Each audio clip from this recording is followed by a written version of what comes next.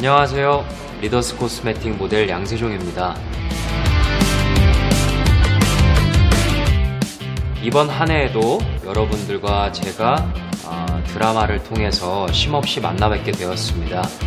하지만 이제 리더스 코스메틱에서도 저를 만나실 수 있습니다.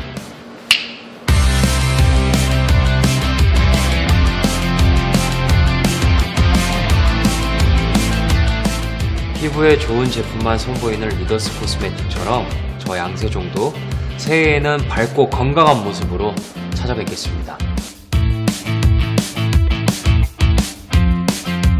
앞으로도 양세종과 리더스 코스메틱 사랑해 주실 거죠? 2018년도 새해에는 여러분들께서 원하시는 모든 일들 꼭 이루어지시고 건강하시고 또 건강하시고 행복하시길 바라겠습니다. 감사합니다.